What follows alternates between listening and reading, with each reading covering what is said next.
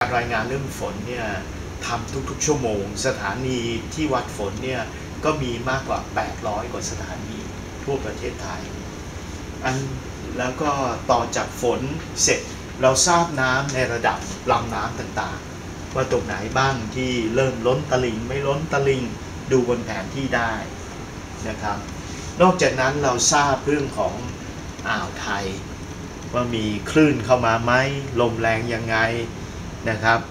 ย้อนกลับไปดูที่สภาพอากาศ เราก็เห็นคาดการฝนคาดการลมเนี่ยล่วงหน้า 7 วัน ที่แม่นๆก็ 3 วันล่วงหน้าครับ แล้วแถมมาอีกก็ผังน้ำนะครับ อย่างตรงนี้น้ำล้นตลิ่งแถวๆแม่น้ำวังตอนบนที่เขื่อนกิวลมนะครับ ก็เริ่มเห็นไหมไฟแดงกระพริบนะครับ อย่างนี้ก็ชัดเจน ถ้าเลื่อนลงไปดูข้างล่าง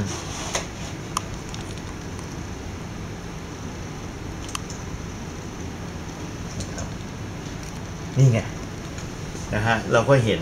เรื่องของน้ำนะครับ ชัดเจนหมด ก็เห็นครบครับ ก็ลองดาวน์โหลดไปใช้ดูนะครับ ติดตั้งดูก็แอปชื่อ Thai Water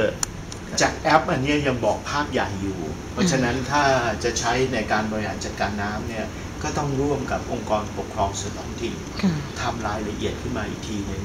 ก็อาจจะเสริมพอมีรายละเอียดมีแผนที่น้ำมีผังน้ำเสร็จนะครับจุดที่ยังไม่มีระบบตรวจวัดอ่าอัตโนมัติก็อาจจะไปติดตั้งเป็นอ่า staff gate คือไม้วัด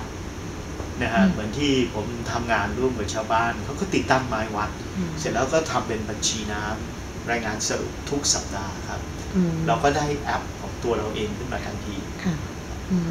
อย่างเห็นกลุ่มฝนจะวิ่งเข้ามาที่กรุงเทพเนี่ยเราก็รู้ว่าเราเอ่อถ้าอย่างนั้นก็จอดรถที่ห้างก่อนกินข้าวให้เสร็จแล้วค่อยกลับบ้านอย่างเงี้ยแทนที่ไปออกันบนถนนนะครับ แล้วก็เรื่องของฤดูกาลเรื่องของพายุเขาเกี่ยวข้องกับการเกษตรชัดเจนครับอืมอ่าเนี่ยครับอย่างตอนเนี้ยพายุที่เอ่อที่เข้าพอดีเข้าไต้หวันไปแล้วนะฮะเลยไปแล้วเราเลยไม่เห็น แต่จากหย่อมความกดอากาศต่ำนะฮะที่ตอนนี้เนี่ยอากาศของไทยเนี่ยเริ่มเย็นลงบ้าง ตรงเนี้ยเราก็เห็นว่า สีสีแดงตรงเนี้ยสีชมพูตรงเนี้ยก็คืออาความกดอากาศสูง เริ่มเข้ามาในไทย เมื่อเช้าเราก็ได้ข่าวว่าทางเหนือของประเทศไทยก็เริ่มเย็นนะอันเราก็ต้องดูอันนี้คือลมชั้นบนนะครับ บริเวณอ่าภาคใต้ตอนบนนะครับก็ต้องระวังเพราะว่าลมค่อนข้างแรงอืม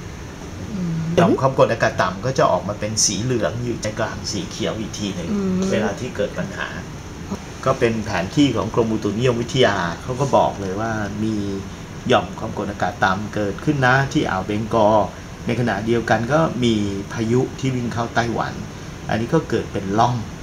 ความกดอากาศอืมครับค่ะแนวฝนที่ยังอยู่ในประเทศไทยอยู่อืมมันเป็นเมฆครับที่เราได้ข้อมูลมาทุกชั่วโมง นะครับ เราก็จะเห็นภาพเมฆเลยนะครับว่าตอนนี้ยังมีเมฆปกคลุมอยู่นะครับ ตรงนี้ก็คือกรุงเทพมหานครนะครับ ตรงนี้ก็คือภาคใต้เห็นไหมตอนบนแทบจะหายหมดอะโล่งเลยอืมอันนี้คือครับอ๋อแผนที่ประเทศไทยเหรอใช่ครับ ประเทศไทยอยู่ตรงนี้ครับอ๋อนะฮะด้านนี้เป็นลาว ด้านนี้เป็นอ่าเวียดนาม ด้านเหนือเป็นจีนพม่าอืมด้านนี้คือทะเลจีนใต้อืมไต้ เนี่ยไต้หวันที่เพิ่งเกิด อันนี้เกาะไหหลอันนี้คือเรียลไทม์ใช่ไหมอาจารย์ำอ่าทุกชั่วโมงครับ ทุกชั่วโมงค่ะครับแล้วอ่าถ้าเรามองเห็นว่าเมฆมาอย่างนี้ก็คือว่าครับฝนกำลังจะตก ใช่ครับ อันนั้นก็ใช้ภาพเมฆอ่าอ่าก็ดูยืนยันได้อีกทีที่ภาพเรดาร์อืมซึ่งสถานีเรดาร์ของฝนหลวงสถานีเรดาร์ของกรมอุตุนิยมวิทยา ของกรุงเทพมหานครค่ะเราก็ขอเขาเข้ามาอืมมารวบรวมเอาไว้ที่นี่ครับค่ะ